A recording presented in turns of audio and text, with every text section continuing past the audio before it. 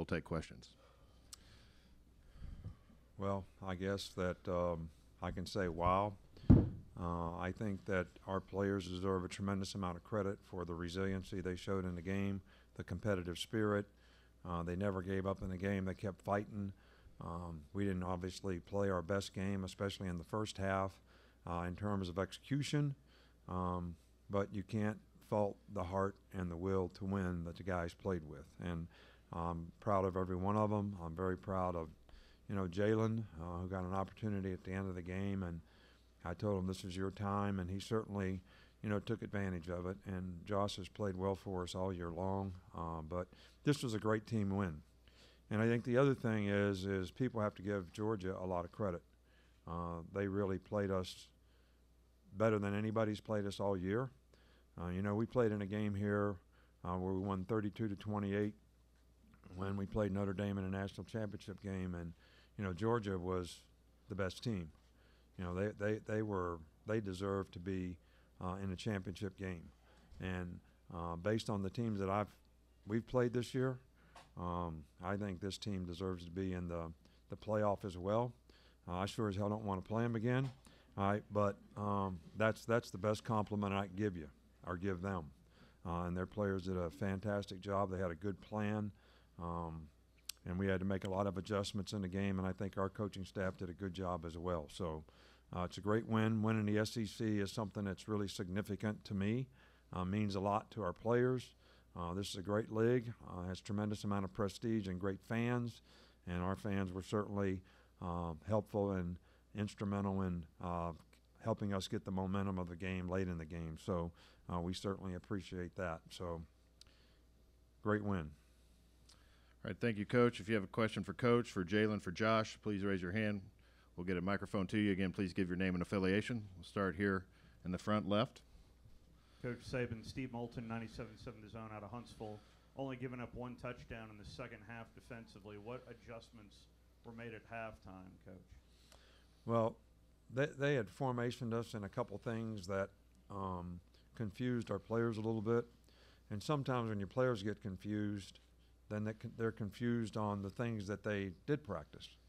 Uh, so I think we just needed to get everybody settled down uh, and making the right adjustments. And uh, I think we played a little better, you know, in the second half because of it.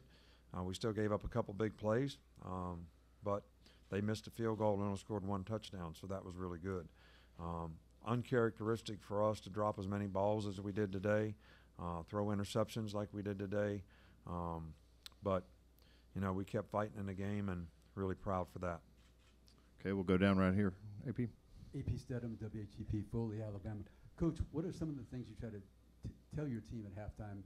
You know, not schematically or something, but just about some of the intangibles. And, and did you see that fourth down play on some of their film? You know, when they tried to go for it on fourth down, did you see that in some of this film? Not that particular play, but they have faked a couple times.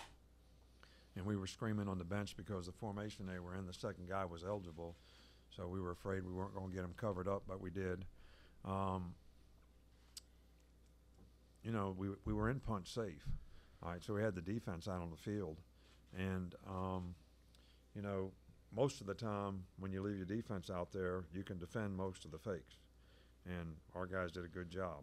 And um, it was a big play in the game because it gave us really good field position and allowed us to get out and score the winning touchdown. Okay, we're going to go straight in front of me, about halfway back. Uh, for all of you guys, um, what I think the before this, the closest margin of victory you had uh, in a game this season was by more than three touchdowns. Um, what does going through a game like this do for the team going forward? Coach, you want to start? Well, I always tell these guys we don't look at the scoreboard. We're all trying to play our best, be our best, um, play the next play, um, be the best version of yourself. That's create what creates the most value for us. And um, so hopefully they play that way all the time uh, because the score really doesn't matter. When somebody looks at you and evaluates you as a player, uh, they don't put the scoreboard up to determine how you were playing. They just watch you play. So why should that matter? What the score is. Uh, now I do think there's lessons to be learned in terms of, you know, the technical aspects of clock management and some of the things that we had to do, you know, to get back in the game and and to go down and win the game. Uh, but we've been in games like that before, and we played in big games before. So uh, we got a lot of lessons to learn in this game, um, but a lot of them are just basic execution. And the message that I gave our players going into this game was, look, we have to focus on what's in front of us. All right, don't make the game too big. Don't worry about winning the championship. Worry about executing. Next block, next catch, next play, uh, and, and execute.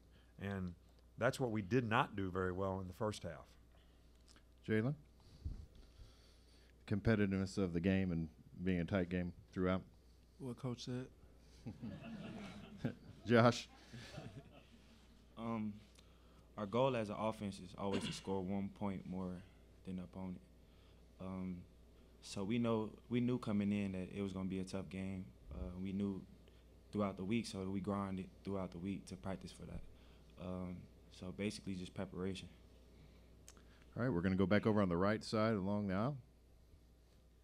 Greg Collier, Action Sports and News. Jalen, tell me, what does it feel like for you to, to be there and, and handle the situation that you did all year long and then have this opportunity to come out? What does it feel like to be able to contribute to this victory for you today? Um, well, you know, it kind of feels like I'm breaking my silence. You know, I haven't said anything um, all year, but you know, this team has worked really hard in the off season, last spring, and you know, we know what adversity looks like, and you know, sometimes we may get hit in the mouth, but you know that we're gonna respond. And I think we did a great job of, of finding a way to get it done today. I think we did a great job of doing that. Okay, we'll go back over here on this right side. Same area. AJ Spur, 90.7 WVUA FM Tuscaloosa. Josh, you've had a lot of great games this season that maybe flew under the radar. Tonight, you were recognized as one of the greatest on the field. Do you feel as if tonight was your best game of the season? Um, no, definitely not. um, it's it's it's crazy because all of y'all think about the plays that I made, and the only thing I can think about is the plays that I didn't, um, and the assignments that I missed. So um, each day I try to improve on that. So coming tomorrow, um, that's the big thing I look at the most. Okay, we'll go about midway back. Pat? Uh, for Nick, do you believe uh, Georgia is worthy of a playoff spot? Well, I commented on that before, um, but uh, yes, I think one of, the, based on what I've seen, they're one of the four best teams in the country. Um, so, and I also said I don't want to play them again, which is the ultimate compliment I think uh, that I could give them. Uh, the players play hard, they're well coached, they got a good system. Um, and look, we got we, we have a good football team, and um, they, they gave us a lot of problems out there today. And if you if that's any measure, uh, if you lose by seven points to the number one team, you shouldn't slip too far.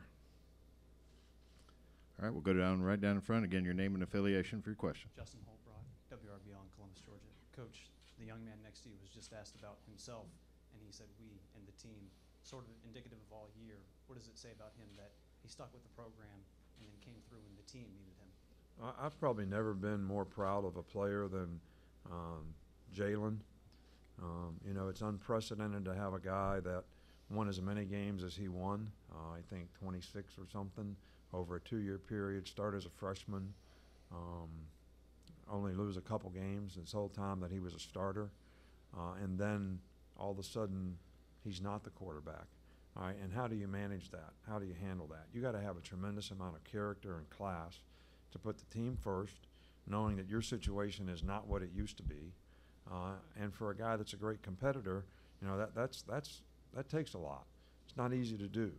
Um, and he's always put the team first. Uh, he's gone in the game whenever we've asked him to go in the game, and play, we played him uh, as much as we could, so that if this came up, he was going to be ready. And uh, I think it worked out great. Uh, and I think this is a great example of why guys uh, don't need to run off and just transfer every chance they get or every time something doesn't work out.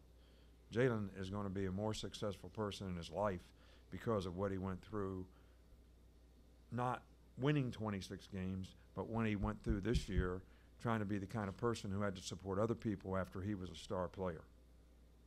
All right, we'll go over here to the right alongside the aisle again. AJ Spur, 90.7 WVUA FM Tuscaloosa. Coach, in the first half, we saw Jalen come in, take a snap, and then on the very next play, swing out. I, I believe it was a slot, and he ran a route. If the situation wasn't the same in the second half, would we have seen more of that? I- I really don't understand your question. The game plan with with Oh. Jalen swinging out as a receiver or even taking the occasional snap, as he did one time in the first half, would we have seen more of that in the second half? If Well, it was in our plan to do that in the game, um, because there were some plays that Jay, we thought Jalen could run at quarterback because, you know, he does some things better than Tua. And, um, so th- we put them both in the game at the same time, so they don't know which one's gonna end up being quarterback. So that was a part of the plan. Uh, we just never got back to it or couldn't get back to it after Tua got hurt. Okay, we're going to stay on the right side, over on the right wall. Uh, Coach Pat Duggins, Alabama Public Radio. How's Tua? Uh, Tua actually sprained his ankle in the first half. Actually came back and played. Uh, the other injury, he got stepped on his foot, uh, which I don't think is significant. Uh, so we're going to evaluate his ankle tomorrow. Uh, but I don't think it should be something that would keep him out, maybe for a little while. But we probably won't practice for, you know, a couple weeks anyway. But we'll know more about that tomorrow. We'll go back over here to the left, front row. Hey, Coach Steve Moulton, 97.7 The Zone again, and uh, Josh said it was not his best game. Do you agree with him? Look, I, I don't ever criticize players in public, all right, and, and never to the press. You know, I, I think Josh has done a great job for us all year long. Uh, I would make a general statement, which I made to the team, uh, that I don't think we played our best game. And when it just comes to execution, doing the right things, making the right adjustments, not making a lot of mental errors, um, and so there's a lot to be learned from that. Um, so, and I think we're going to try to use those lessons. And, and I like Josh's comment about I'm going to look at the things I need to do better. That, that's kind of what we need our players to do. You know, it's not always good when you play bad and win, because sometimes people aren't thinking I got to do something different. All right, so it speaks volumes when we win, and our players still think they have to make improvements in things because uh, they recognize the fact that they could have played better. Okay, we'll go back here in the front row in the middle. Jalen, on the go-ahead touchdown, I wonder if you could just take us through us what was supposed to happen. Was it a run all the way? What, whatever its situation was, and then ultimately you got in the end zone.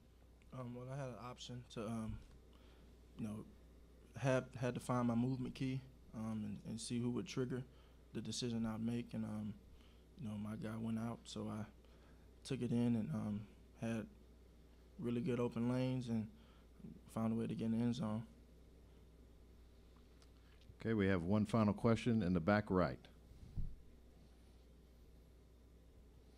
As for Josh, what, what- do you think it was your running thing that allowed y'all to hang around in that first half and into the third quarter when y'all were a little behind? Just how effective was the ground game that allowed you to stay in it even when Tua was struggling in the pass game?